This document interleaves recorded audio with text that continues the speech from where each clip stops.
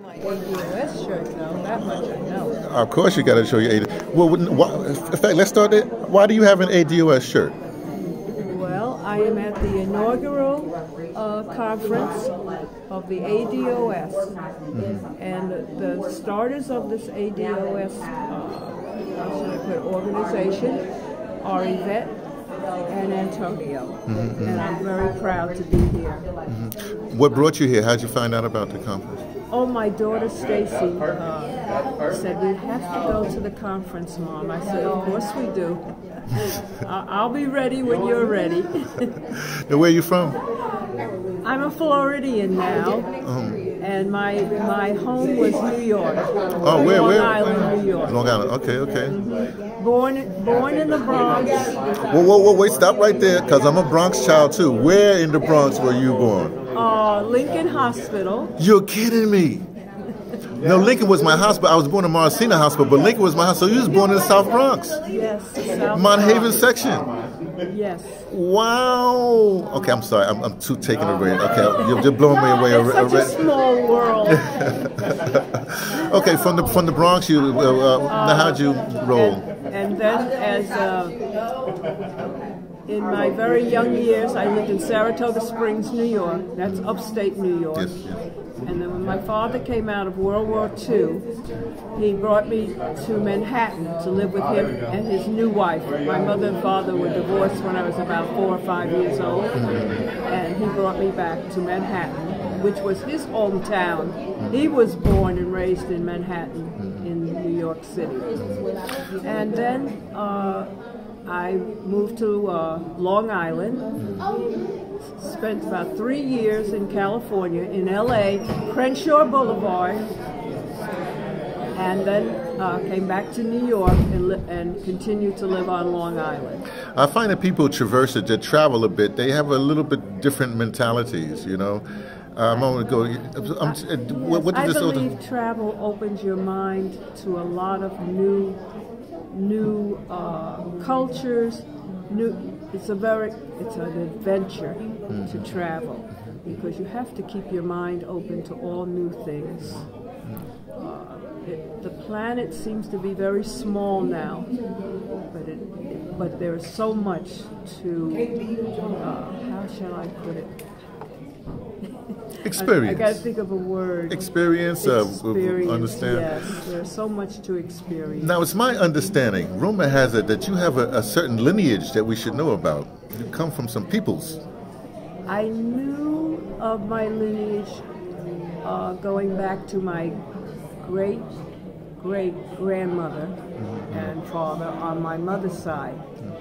And I only knew of my grandfather on my father's side and my grandmother on my father's side. Uh, I had a list of names that my father gave me, and he also mentioned Gullah Geechee people. I had never heard of them before. Hey, I'm from Gullah, South Charleston, South Carolina. Charleston, Okay. yes. Charleston, South Carolina on my father's side. But I was studying my mother's side first. And I found out uh, that my great, great, great, great grandfather was in the Revolutionary War. As a 15 year old, he went in in New York State, and uh, while he was in the uh, in the war, he was captured by the British, taken to New York City, and he was a servant to the officers in the British uh, Army. And then he was uh, released by the colonists and spent the rest of his, time in the Army.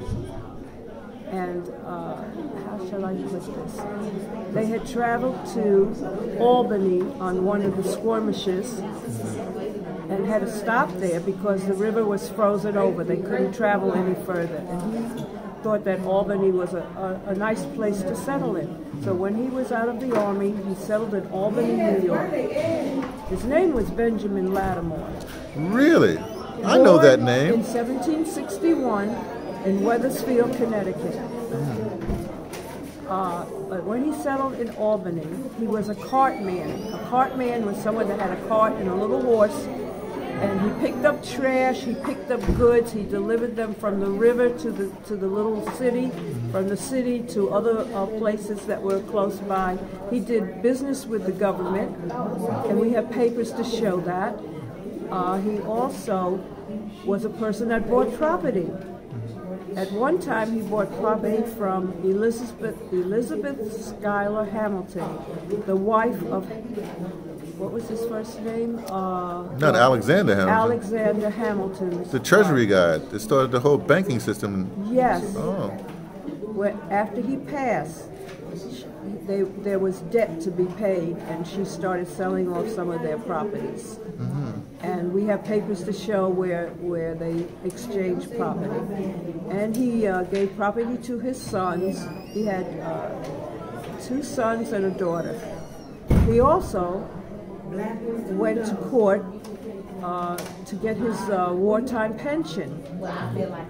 They weren't going to give it to him if he was a runaway slave, so he had to prove that he was manumitted. I believe the word is manumitted. And uh, he took a lawyer to court with him, and he was able to uh, get eighty dollars in in pay and two hundred forty dollars in back pay. He also made out a will. That's something that everyone should do. Make out a will.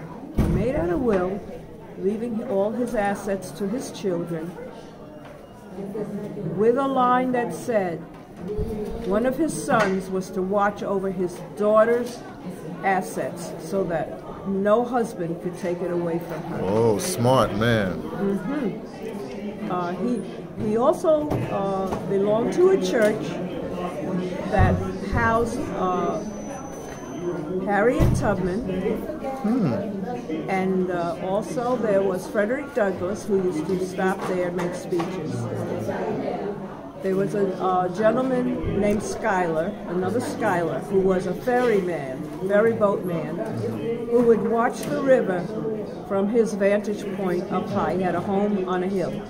And when the bounty count uh, people were coming up the river, he would warn the people in the church, and they would hi- hide Harriet Tubman in a little corner closet where nobody would find her. Do you remember the name? Do you know the name of the church?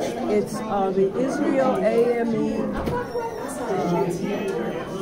I, I'm not sure. It's the Baptist Church. Is it the Baptist Church? I'm not sure at this point. I'm sorry. But what, this was in upstate New York. This is upstate New York. There's a marker. It's a historic site, and it's on Hamilton Street. And all the uh, connected houses on the other side of the church are all historic sites. Okay. So we even got to uh, speak to the uh, two of the staff in the church, and we got to speak to the pastor. He told us he always talks about Benjamin uh, Lattimore in his speeches on Sundays. So this is that was really an eye opener. Okay. All right. I, I want. I don't want to. I mean, if you can talk, I, I'm. I'm listening. I'm listening. Listening. I, listening. I, I forget things, you know, and I No, you don't. out. No, you do not forget what's important. You have what we call a selective memory, and your selections are amazing. Oh, I, I want to mention this. Mm-hmm. I really recommend that everyone does their DNA. Mm-hmm. I knew that when I was growing up in in Saratoga Springs, that I was just a child. I had no idea of my background. My family was from Saratoga, but no one spoke of families, uh, backgrounds, or anything. I used to go and visit my two aunts on the other side of town on Sunday afternoons. We would do needlepoint. They'd give me a little cup of tea or milk or chocolate. No family business. I only knew those two aunts and my Uncle George, who came out of World War II and who uh, treated me to so many great things. Uh, that was my mother's youngest brother. And I, I tell you, it's such a miracle. Life is such a miracle. I didn't find out where my uncle lived. I always thought he lived in Saratoga Springs, New York. I didn't find out till about a year ago that he lived in Queens, New York, and I could have been visiting him in his later years, and my family could have been visiting him and getting to know my mother's younger brother. Uh, I also want to say that I didn't find out uh, my exact DNA until my my son said, "Mom, we have to do our DNA." Oh, uh, yeah, Mom, we should do our DNA. When my results came back, I found out I was 50% African, 42% European, UK, a hint of uh, of Native American, and a hint of Jewishness. What a revelation! I knew I can say that I knew I was black when I lived in Manhattan with my father, but I didn't know how much. And I remember when I lived with him at one time, in the we lived in the Riverton development on 135th Street and Madison Avenue. Okay, I know where that is. Yeah. Mm-hmm and I was walking. I guess now they call it Lincoln Projects. Wait a second, Riverton. Okay, there was the Lincoln Projects, and then there was the Riverton Development. Okay, that's right. I know by the Metropolitan Life Insurance Company. Mm-hmm. And I remember walking out of there one day, going up to the subway, and somebody was yelling, "Yalla, hey Yalla gal." Mm-hmm. That really was the first time that I had. Uh, race pointed out to me and color of skin that mattered. But how old were you then? I was in junior high then. Mm-hmm. So I was about 14, yeah. 15, mm-hmm. 14 years old, I believe. Mm-hmm. That was my first uh, touch of uh, a little uh, racism. But uh, my big, my biggest, I had two big touches later on in life. When we were coming, when we went to California, we used Route 80, the northern route. Mm-hmm. Coming back, we used Route 66, the southern route. We stopped in Albuquerque with the children. We stayed over. We bathed the children, fed them, and everything was fine. And then we traveled on to St. Louis. We got to St. Louis, and, I, and we saw a sign vacancy on a motel. So I went in to check us in, and he said, "Oh yes, there's a vacancy." And he looked out at the car and he looked and saw my husband and my children in the car. He said, No, there's no vacancy. You have to go to the other side of town. And here we were, tired, hungry, children needed changing and, and whatever, and we were told we couldn't stay there. My second big uh, thing with racism was when, when my children were older and we moved into a, a house in Baldwin, Long Island, New York, New York. And the fella that that signed my uh, lease was the husband of the homeowner. And so I signed the lease, and he was doing something in the kitchen, and everything was just fine. The children and I moved in. The following Monday, I got a phone call at my job that I had to move. And I said, why? I just moved in. I just transferred all my phone and water bill, all this. Oh, you just have to move.